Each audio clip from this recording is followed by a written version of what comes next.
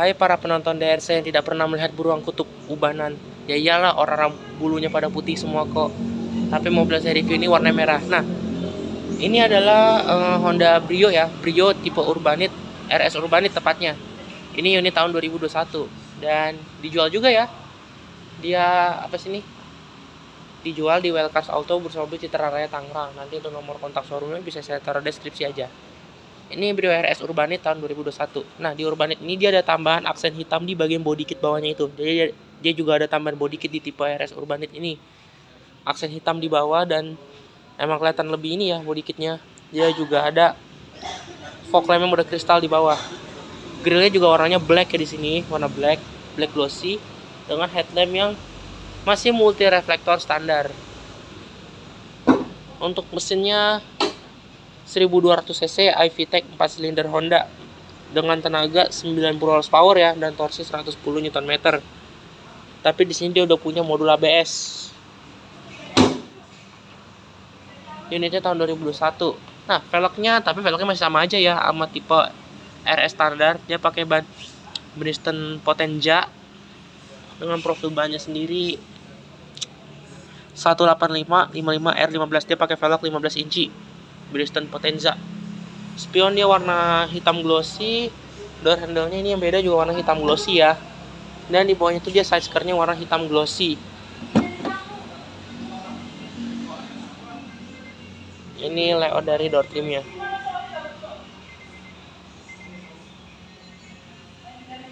Dan ini layout dari dashboardnya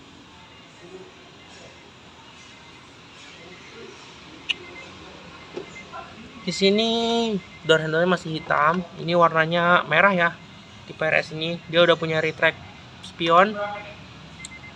Sama ini ada power door lock window lock door handle sama power window. Ada door pocket sama speaker di bawah. Dan untuk pengaturan joknya sendiri dia masih manual dan belum ada head adjuster ya. Ini ada untuk buka tangki ada untuk buka kap mesin di bawah. Transmisi matic ya ini yang tipe matic ada tempat penyimpanan sama ada isi AC yang sisi bawahnya doang warna merah. Ini Honda yang masih pakai buzzer lama ya Brio ini. Nih. Kayak gini kuncinya. Sekarang kita nyalakan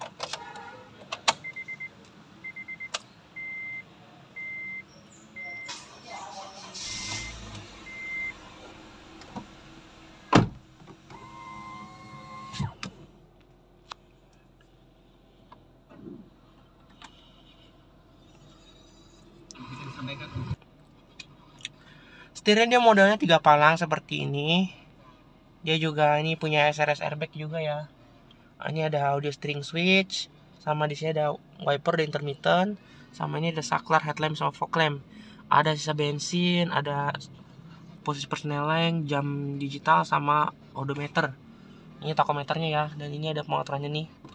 Trip out, average, power, kilometer balik lagi. Dan ini bisa jadi buat dimmer juga nih kalau diputar-putar. Pengaturan setirnya sendiri dia tilt tapi dia belum teleskopik. Ini ada tombol hazard sama ini kisi AC nya modelnya tuh dia jajar genjang ya. Ini bawahnya doang nih merah nih. Head unit dia double din monitor ya di sini.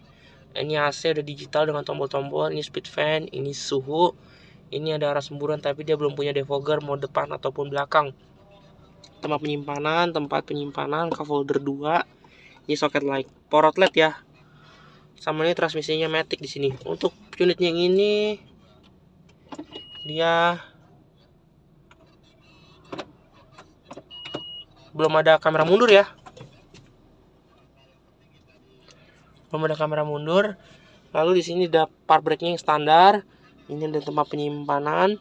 Dan ini joknya nih dia warnanya fabric black dengan sedikit warna sentuhan merah gitu. Ada seat belt di situ hand grip model fix sun visor dia ada kacanya. Ini spion tengah daylight view sama ini sun visor dia ada kacanya juga. Itu ada airbag untuk sisi penumpang depan di bawah juga ada ini. Kisi khasnya sampai ke bawah sini nyambung ya yang warna merah merahnya gitu dan yang di sisi bawah ini ada teksturnya gitu. Ini standar lacinya. Dan ya udah kita turun.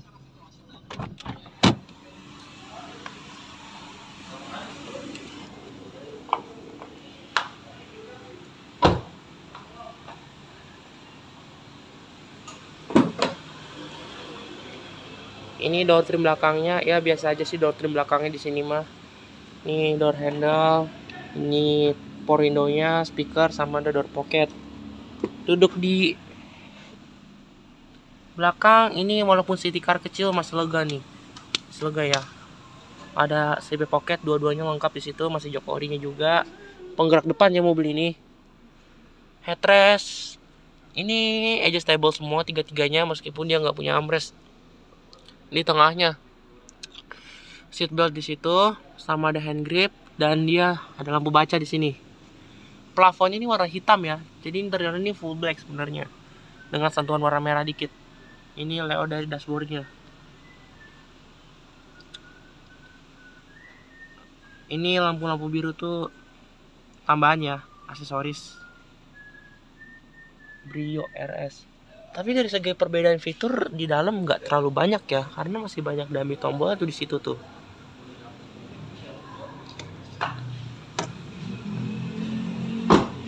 rear rapper spoiler di atas ini warnanya two tone ya warnanya hitam glossy di atas itu. Rem belakang tromol dan ini desain dari belakangnya.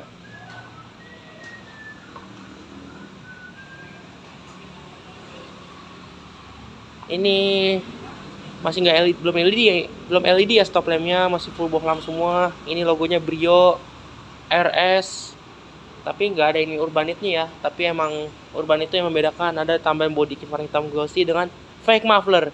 Ini fake muffler dua-duanya. Ini kelihatan banget menurut gua nih. Kelihatan banget fake nya gitu. Dan jujur aja saya kurang suka sama fake muffler, fake mufflernya kayak gini nih.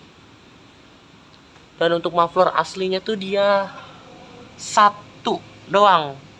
Itu ya satu doang di kanan muffler aslinya. Karena ini hanya aksesoris mata wiper belakang di sini. Ini ada rear raport spoiler sama remote stop lamp. Untuk bagasinya dia buka dari dalam udah ya. Tinggal buka dari dalam dan dia nggak full kaca. Udah ada panel bodinya di Brio generasi ini. Brio udah keburu facelift gue baru review Urbanit tahun 2021 ketinggalan banget gue ya. Nah ini jok nih dilipat kayak gini bisa ya. Dan dia pelipatannya full makanya ini harus dua-duanya ditarik tuas ini. Nah kayak gitu dan dia bisa semi rata lantai gitulah.